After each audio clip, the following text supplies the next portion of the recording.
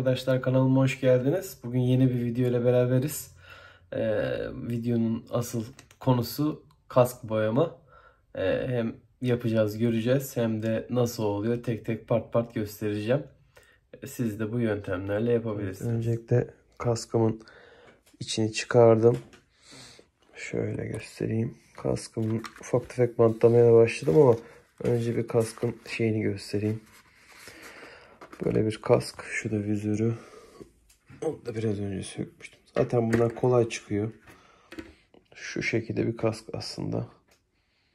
Şöyle tam denk getirirsem. Ee, vizörünü söktüm. içini söktüm dediğim gibi. Yani kask olarak böyle. Aslında kaskta bir çizik vesaire çok yok. Ufak tefek şeyler var. Ama e, ben rengini değiştirmek amaçlı boyuyorum. Eğer ki çizdiğiniz vesaire varsa siz biraz daha e, işte macun vesaire yapmak gerekebilir. Bunda çok ufak işte lekeler vesaire var. E, böyle bakalım yavaş yavaş maskelemeyle başlayıp sonra zımpara, astar, boya, vernik diye gideceğiz. Ama önce e, bir maskelemesini bitirelim.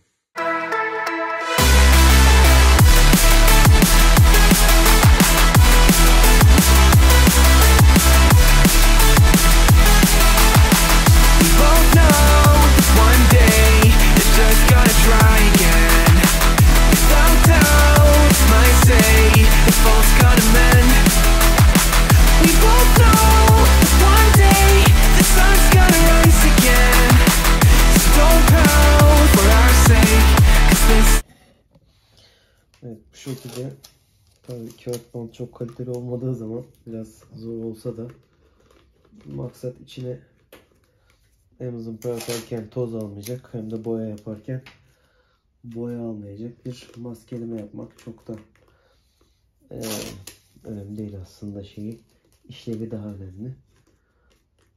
Bu şekilde kapattıktan sonra ufak ufak zımparada görüşürüz inşallah. Evet şu şekilde kapanmış olduğunu maskelemiş oldum. Maskeleme işleminin içinde bantla biraz sağlamlaştırdım.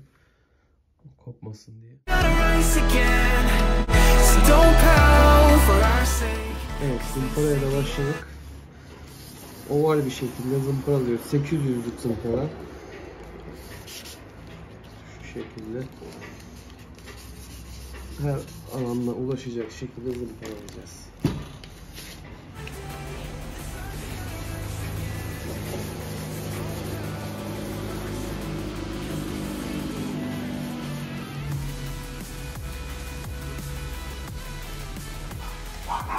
Bu şekilde zımparamız tamam. Bunlar da.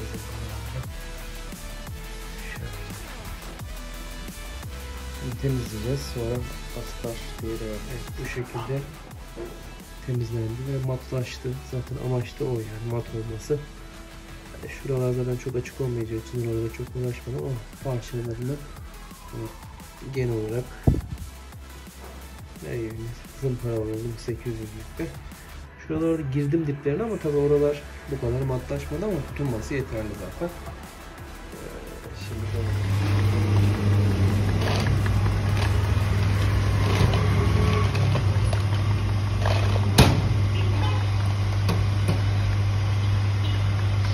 Bir de bu var. Bu da buna yakın. Deminkine bir daha bakabilir miyim? Daha var. Şimdi daha iyi sanki gözüm şöyle. Bu biraz daha. O. Bu daha yakın gibi. Tamam. Bunlar yapıyor. Evet astar için e, düzenimizi kurduk. E, Motip'in astarını atacağız. Ufak ufak başlıyor. left brain. Don't say we can't, oh, just don't say another word. Astarımızı attık. Astarımız şeffaf plastik astarı. Evet, direkt kuruduğu zaman bir kat daha atacağım.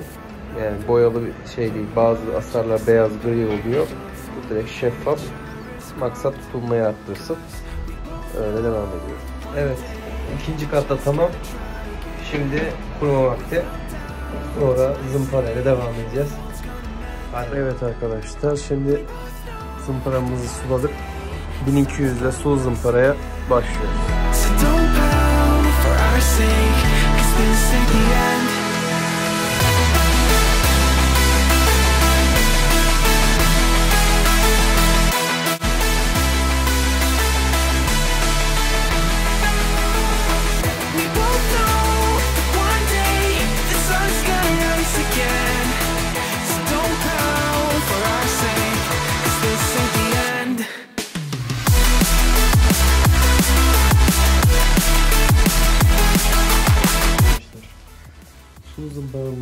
bitti.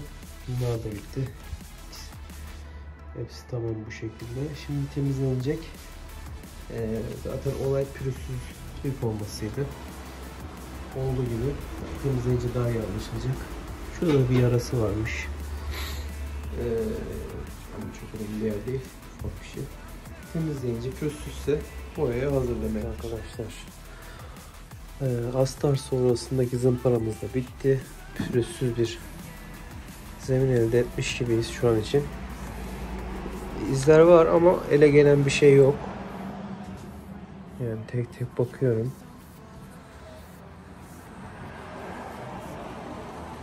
Şu şekilde. Biraz bunlar yıprandı tabii su gördüğü için ama gerekirse boyadan önce onları yoklamaya geçerim.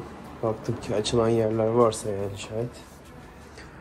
O şekilde ilerleriz. Zaten birçok yerde artık boya bitti yani. Zımpara yapmaktan e, şey ortaya çıktı. Çizgiler ortaya çıktı. Şuralarda vesaire. Ee, onun için zımparası iyi gibi duruyor şu an için. Yine bu buralarda da şuralarda vesaire. Hani ele gelen bir şey yok. Zaten dediğim gibi önemli olan da o. Şuralarda ufak akıntılar vardı. Oraları aldım. İyi duruyor. Bir yıkadım. Su tuttum şöyle hemen şey altına gelmeyecek şekilde üstten tutup sildim. Hala ufak tefek tozları var. Şimdi biraz dursun. Sonrasında da e, tekrar sileriz boyadan önce. Öyle boyaya geçeriz.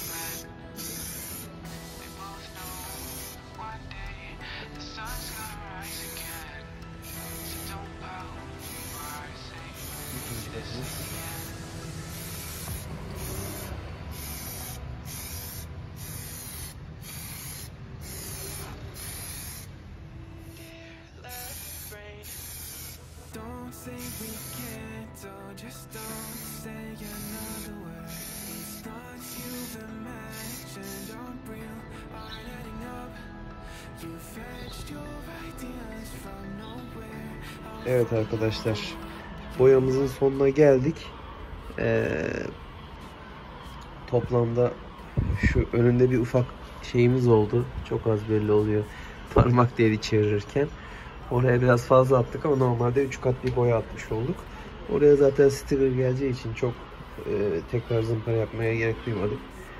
E, zaten çok az bir şey var böyle iz gibi. Onun haricinde şöyle çevirirsem güzel oldu.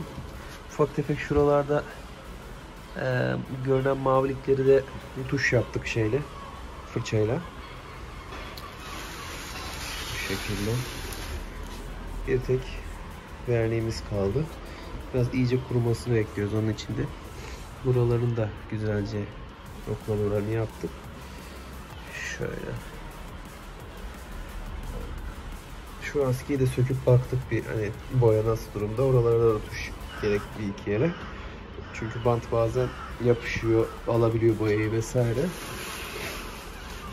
E tabi bu verdikten sonra biraz daha güzel duracak. Şu an gayet iyi duruyor.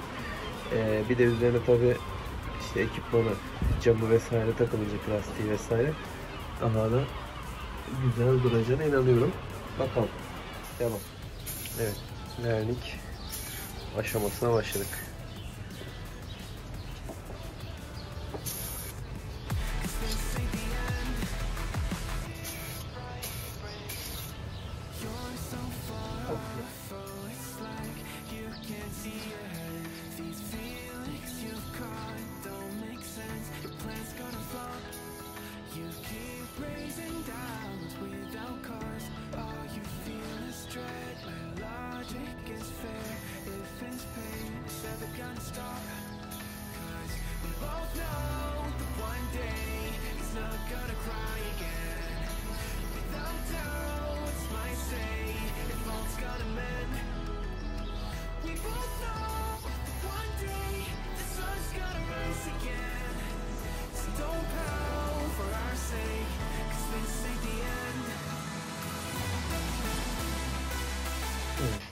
Ufak ufak boyalar kurudu gibi.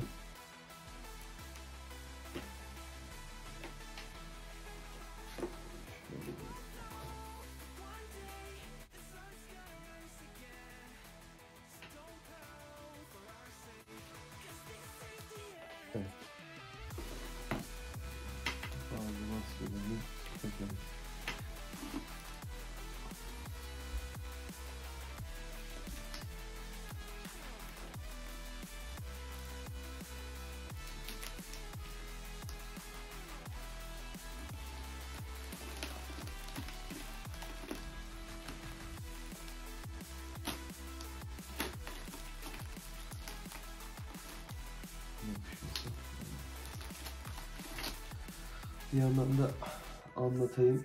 Aslında temelde biz 3 kat boya, iki baştan başlayayım. 2 kat astar, 3 kat boya, 2 kat vernik olarak ilerleyecektik. Ama e, gibi şuraya bir parmak dokunma oldu. Arkada bir yerde ufak bir e, akıntı oldu iki damla. Onları şurada çektiğimiz bir bant e, bir sefer bunları kaldırıp tekrar yaptık. E, maskelemelerini. Oradaki bir bant yapışıp boyayı aldı. Ondan dolayı şu bölge ve tam arkasındaki bölgelere eee, biraz fazla boya atmış olduk. Yani ön tarafla arka tarafı 6 kat gibi oldu. Eee, normalde toplamda 3 kat gibi oldu. Onun için biraz daha geç kurudu. Yani bu şu an aslında yarın herhalde biter artık bu tamamıyla. Çünkü ben bur- buraları biraz yapışkan daha oralarını temizleyeceğim vesaire. Ee, bir haftalık bir süreç gibi olmuş olacak. Ee, toplam işte zımparası, astarı, tekrar zımparası, boyası vesaire gibi. Ee, bu süreçte de biraz işte boyayı fazla attığımız için geç kurudu. Ama hani temiz olmasına çalıştık. Ufak tefek illaki hani kusurlar ola- olabilir. Ee, ufak tefek tozlar olabilir. Onların hani onların zaten olacağını bildiğiniz için çünkü hani normal bir açık ortamda boya atıyoruz sprey boyayla. Ee, Yüzde yüz verim zor. Hani e, ortamın çok temiz olması lazım, kapalı ortam olması lazım. Öyle bir ortam olmadığı için bu kadar hani olabiliyordu. Ama bence şu an için iyi duruyor. E, verniği çok atmadık. E, daha da hani kuruması uzun sürecek diye iki katta bıraktık. Üç katta atılabilirdi. E, onun haricinde e, ne kadar bir maliyet oldu ondan bahsedeyim. En son bittiğinde toplayıp daha tam halini göstereceğim işte vizörü vesaire bunlar çıktıktan sonra. E, 300 lira e, sanayide otomotiv boyasıyla yaptırdığım sprey boya, kırmızı boya 300 TL.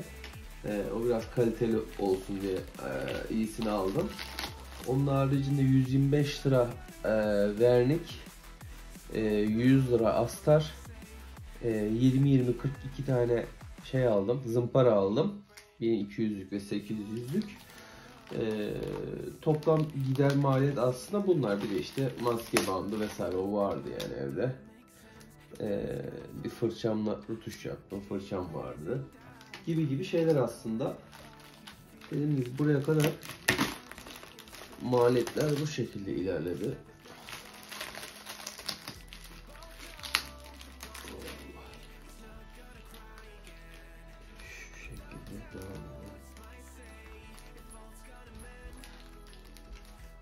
Allah'tan maske pek taşma falan yapmadı ama bant biraz artık uyduruk olduğu için mi bilmiyorum. Yapışkan bıraktı. Ee, onları sinerle temizleyeceğim. Boya denk getirmeden taşan yerler vesaire var.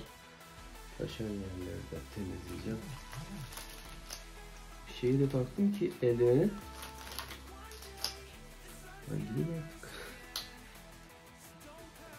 Taktım ki e, bazen parmak izi yani o nokta nokta parmak izi çok iz yapıyor dokunduğun yerde vesaire. Ama eldiven o kadar iz yapmıyor. Bez gibi düşün yani. Bez iz yapar, parmak direkt iz bırakır. O mantıkta biraz daha başarılı oluyor eldiven. Yanlışlıkla bir yere değdiğinizde vesaire yani. Çünkü evet bu şekilde maskelerimizi söktük. ufak ufak toplamaya devam.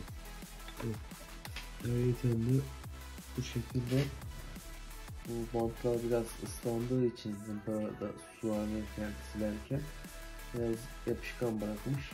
Bir gözlük mendiliyle e, selülozik tiner, tenekede satılan tinerle bunları alıyorum bu şekilde izlerini.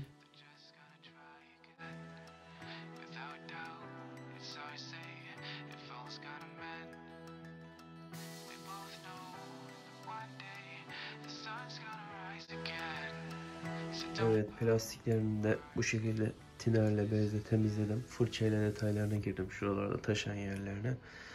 Ee, gayet şu an daha iyi oldu. Devam ediyoruz.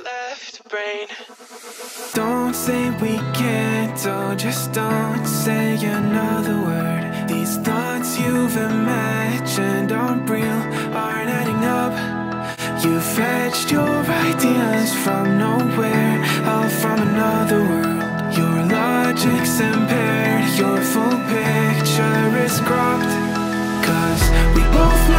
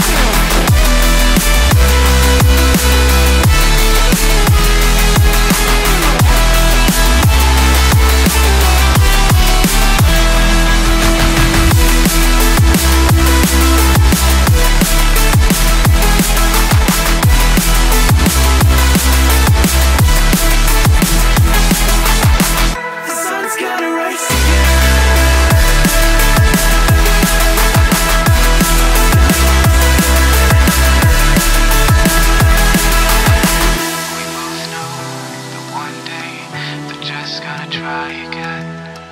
Without doubt, it's our say if all's gonna mend.